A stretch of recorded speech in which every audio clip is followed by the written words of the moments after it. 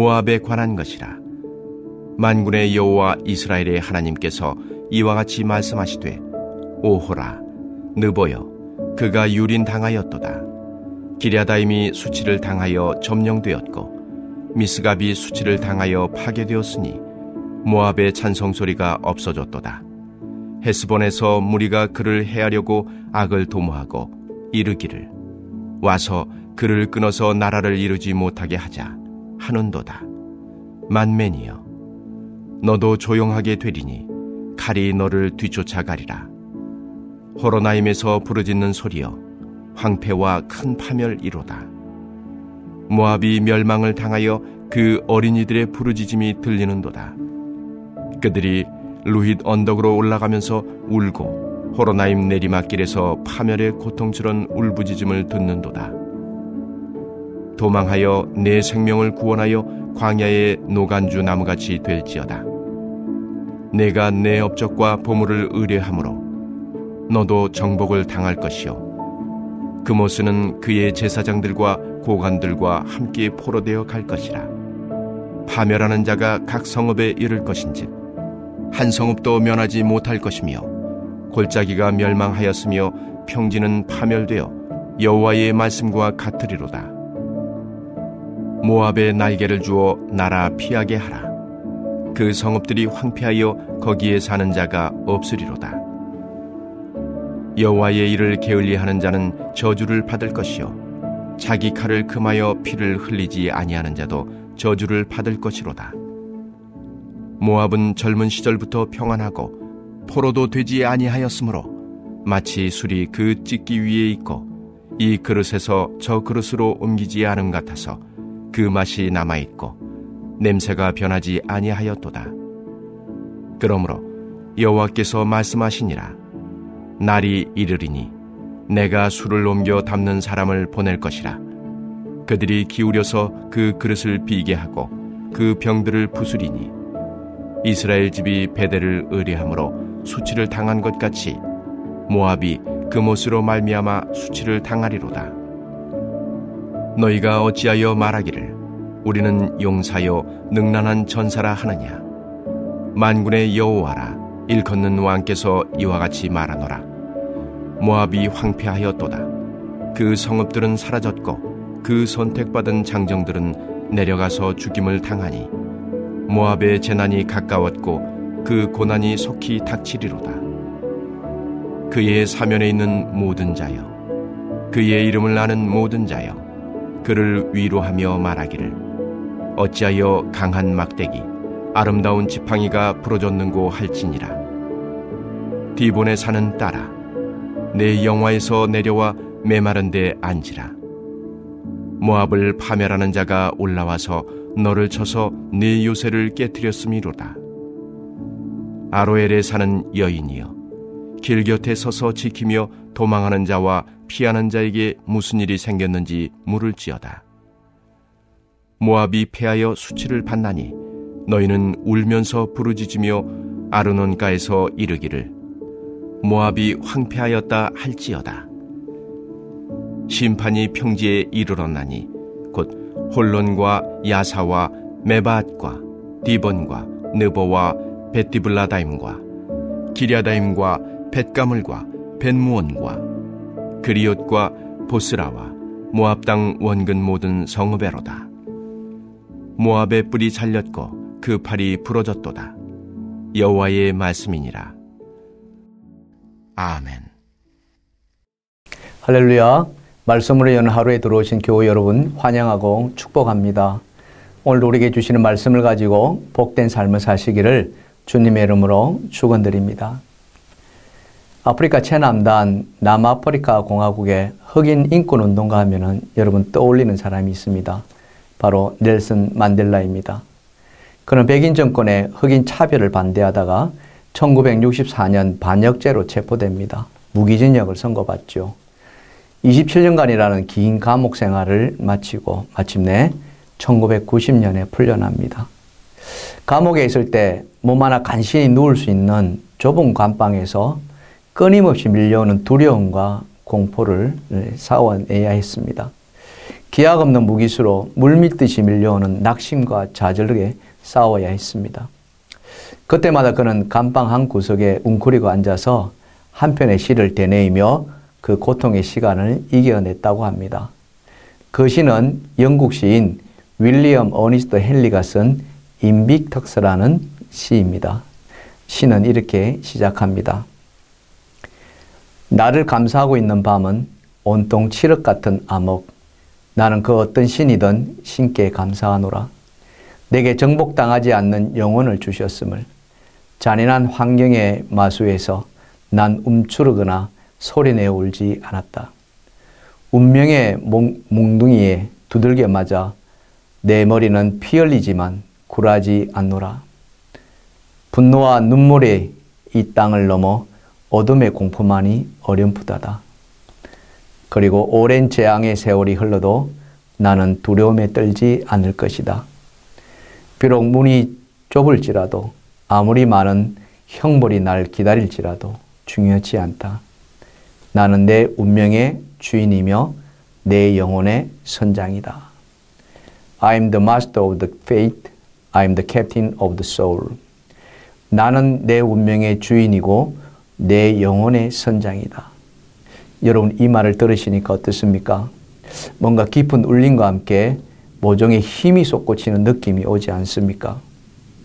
사실 저도 목사가 되기 전에 이와 같은 비슷한 말을 참 많이 했던 적이 있었습니다. 강의장에서 일에 지쳐있는 이들에게 힘을 불어넣고 동기를 부여하며 새롭게 일어서도록 독려했던 기억이 납니다. 그때는 그게 옳았다고 생각했고 또 믿었습니다. 하지만 내가 내 운명의 주인이며 내 영혼의 선정이다 라는 이 말을 믿음의 눈으로 보면 거기에는 깊은 함정이 있음을 또한 우리는 발견하게 됩니다. 바로 인본주의라는 함정입니다. 인빅텍스라는 말이 정복되지 않는, 굴하지 않는다는 뜻을 지니고 있어 인본주의의 상징이 되는 것이죠. 하나님을 믿는 기독교의 핵심은 무엇입니까? 인본주의가 아니라 신본주의입니다. 인본주의는 모든 만물의 중심이 인간이라고 주장하는 것이라면 신본주의는 하나님이 중심입니다. 믿음 안에서 내 운명의 주인과 내 영혼의 주인은 누구입니까? 바로 하나님이죠. 예수 그리스도입니다. 그래서 우리는 이렇게 고백합니다. 내 인생의 주인은 하나님이십니다. 내 운명의 주인은 예수 그리스도이십니다. 내 영혼의 주인도 하나님이십니다. 라고 말이죠. 오늘 본문은 인생의 주인이 바로 우리 자신이라고 얘기했던 모압 족속의 말로에 관한 말씀입니다. 유다가 아닌 모압의 패망의 기사를 이렇게 장황하게 성경에 기록한 이유는 무엇일까요? 오늘도 말씀을 참 많이 읽었는데요. 이것을 통해서 하나님께서 우리에게 무엇을 말씀해 주고 싶으셨을까요? 그 하나님의 기쁨 속으로 저와 여러분이 함께 들어가 보기를 원합니다. 자, 그럼 모압 족속이 이 땅에서 망해서 사라져야 했던 그 이유는 무엇이었을까요? 첫 번째, 자기 운명의 주인을 자기라고 여기는 인본주의 때문이었습니다. 자, 본문 7절을 다 같이 한번 읽어보겠습니다. 내가 내 업적과 보물을 의뢰함으로 너도 정복을 당할 것이요. 자, 여기 보면은 업적과 보물을 의뢰했다고 했습니다. 의뢰했다는 것은 신뢰하고 믿었다는 것이죠. 의지했다는 것입니다. 자랑했다는 것이죠. 무엇을 말입니까? 자신들이 쌓은 업적과 보물을 말입니다. 얼마나 좋았으면 또 얼마나 많이 쌓았으면 그것을 의지하며 자랑으로 여겼을까요? 자, 본문 11절을 보겠습니다. 모압은 젊은 시절부터 평안하고 포로도 되지 아니했으므로 마치 술이 그 찢기 위에 있고 이 그릇에서 저것으로 옮기지 않음 같아서 그 맛이 남아 있고 냄새가 변하지 아니하였도다. 네, 보시면 모압이 젊은 시절, 즉 나라가 세워질 때부터 평안했다고 이야기합니다. 나라가 평안하다 무슨 뜻입니까? 전쟁이 없었다는 것이죠. 그래서 포로가 돼본 적도 없었다는 것입니다. 그러니 집에서 담근 술독을 옮길 필요가 없었다는 것 아니겠습니까? 당연히 술 맛이 고스란히 그대로 보존될 수 있었던 것이죠. 태평 세월을 누렸다는 것입니다. 이보다 더 좋을 수가 있겠습니까? 과거 조선 인조 임금 때 청나라의 침략을 우리가 받아 수모를 겪습니다. 그때 청과의 싸움을 주창했던 김상은이 시를 남겼는데요. 그 내용을 보면 이렇습니다. 가노라 삼각사나 다시 보자 한강수야 고국 산천을 떠나고자 하랴마는 시절이 하수상하니 올똥말똥하여라. 오랑캐 말발고발에 짓밟히는 수모를 겪으면서 포로를 끌려가는 참담한 심정을 시로 나타낸 것입니다. 모압이 그렇지 않았다는 것입니다. 말 그대로 태평 세월을 보냈다는 것이죠. 땅은 기름지고 가축과 곡물이 넘쳐났습니다. 전쟁도 없었습니다. 그러니 얼마나 평안했겠습니까? 이럴 때 경계해야 할 것이 있다면 무엇이겠습니까? 흔히 배부르고 등 따실 때 무엇을 경계해야 합니까? 바로 교만이라는 것입니다. 교만이 그 밑바탕에 인본주의가 깔려 있다는 것을 우리는 기억해야 합니다. 이스라엘 광야 40년 방황을 끝내고 마침내 가나안 땅에 들어가기 전에 하나님이 이스라엘 백성에게 신신당부의 말씀을 주시죠. 그게 바로 신명기서입니다. 이 말씀의 핵심 중에 하나가 무엇입니까? 교만을 주의하라는 겁니다. 인본주의를 경계하라는 것입니다. 신명기 8장 12절과 14절은 말씀합니다. 네가 배, 먹어서 배부르고 아름다운 집을 짓고 거주하게 되며 또 내 소와 양이 번성하며 내 은금이 정식되며 내 소유가 다 풍부하게 될 때 네 마음이 교만하여 네 하나님 여호와를 잊어버릴까 염려하노라.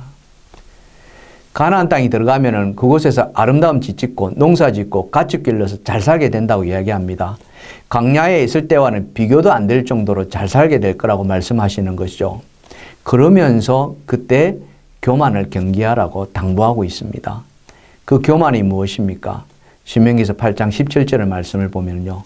네가 마음에 이르기를 내 능력과 내 손의 힘으로 내가 이 재물을 얻었다 말할 것이라. 바로 이겁니다. 누구의 능력과 누구의 힘이라고 합니까? 내 능력과 내 손의 힘이라는 것이죠. 하나님은 온데간데없고 그 자리에 자신들이 차지해 버리는 것입니다. 이게 자기 자랑이고 교만인 것입니다. 인본주의라는 것입니다. 모압이 바로 그랬다는 것이죠. 근데 가만히 생각해 보면은 여러분 우리도 그런 적 있지 않습니까? 아니 있는 정도가 아니라 대단히 많은 것 같습니다. 학교 다닐 때 좋은 성적 얻을 수 있습니다. 또 직장에서 좋은 직장 얻고 또 좋은 성과 낼 수 있었습니다. 어떻게 하셨습니까? 지금같이 취업하기 어려운 때에 공무원 시험이라도 합격하면은 정말 경산하지 않았겠습니까? 그때 어떻게 하셨습니까? 코로나로 인해서 경제 위기 상황입니다. 남들은 다 죽겠다고 하는데 나는 여전히 잘 되고 승승장구한다면은 여러분 그 공을 누구에게 돌려야 합니까? 물론 자신이 열심히 노력하고 애쓴 결과가 맞습니다. 자신의 공을 인정받아야 합니다. 하지만 그렇게 되기까지 모든 환경과 여건을 만든 것은 내가 아니지 않습니까? 이에 대해서 사도 바울은 고린도전서 3장 6절에 이렇게 말씀해 주고 있습니다. 나는 심었고 아볼로는 물을 주었으되 오직 하나님께서 자라나게 하셨나니 그렇습니다. 자라게 하신 분은 누구입니까? 하나님이시라는 겁니다. 우리가 무엇을 하든 모든 성과의 결과물은 하나님께서 다 이루어 주신다는 것입니다. 그래서 우리는 모든 영광을 하나님께 올려드려야 되는 것이죠. 사도 바울은 고린도전서 10장 31절에서 이와 같이 말씀합니다. 그런즉 너희가 먹든지 마시든지 무엇을 하든지 다 하나님의 영광을 위하여 하라라고요.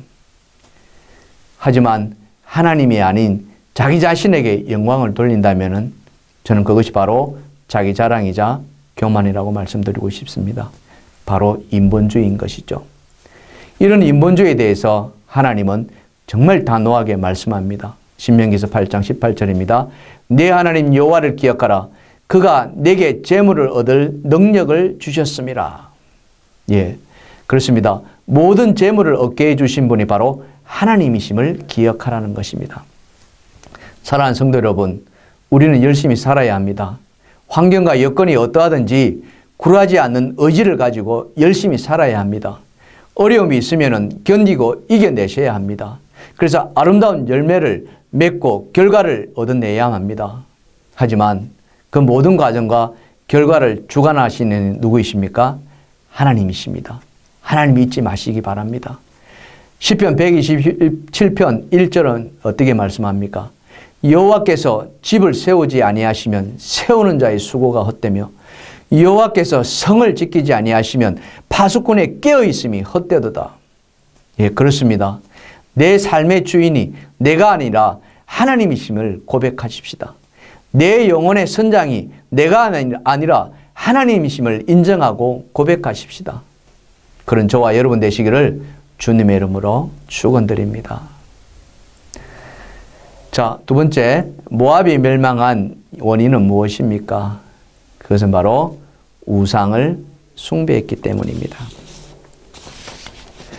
그들이 생, 에, 모압이 섬긴 우상은 무엇일까요?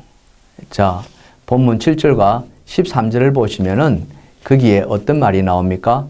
금호수가 등장합니다. 여러분, 금호수가 어떻게 생겨 먹었는지 혹시 아시겠습니까?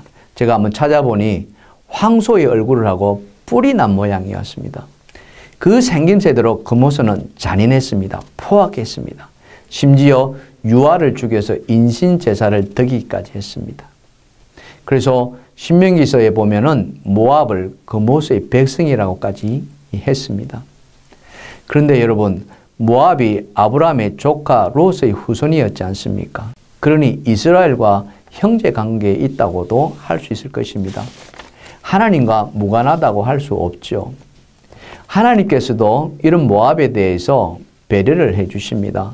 신명기서 2장 8절과 9절인데요. 한번 보시면 모압이 광야길로 지날 때에 여호와께서 내게 이르시되 모압을 괴롭히지 말라.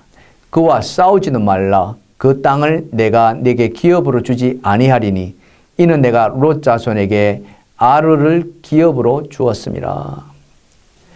광야 행진을 하면서 모압과 싸우지 말라 합니다.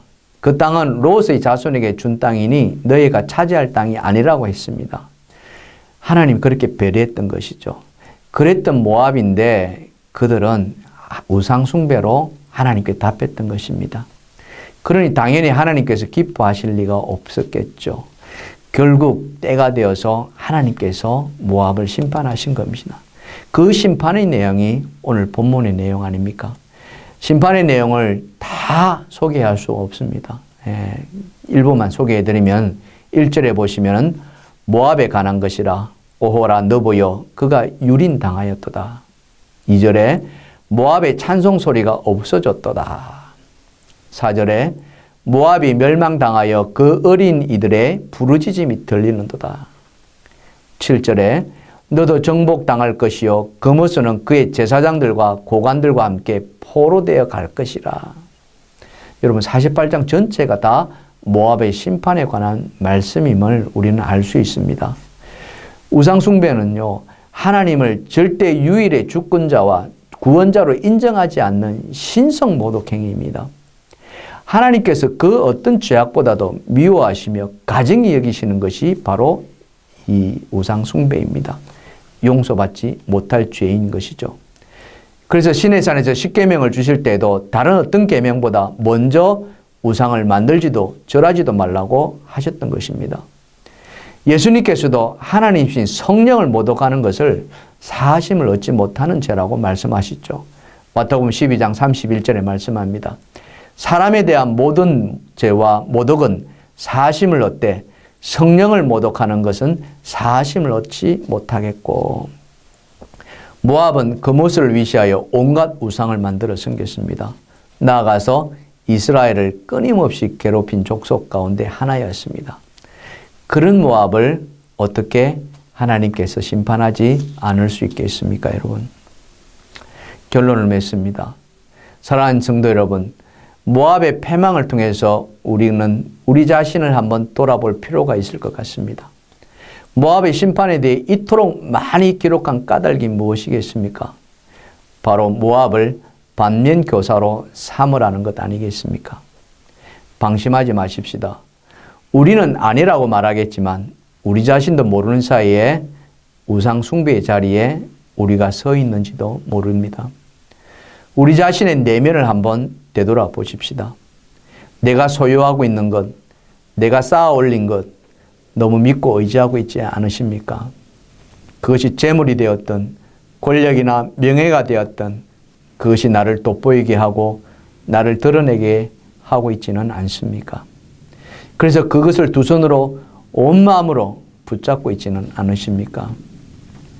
지난날 경제가 어려워지고 삶이 힘들어질 때 우리는 허리띠를 졸라매고 이겨내자고 했습니다. 불필요한 소비를 없애고 좀 덜 먹고 좀덜 살면서 극복하자고 했습니다. 그런데 지금 우리는 어떻습니까? 코로나로 경제적 어려움이 지속되고 있습니다.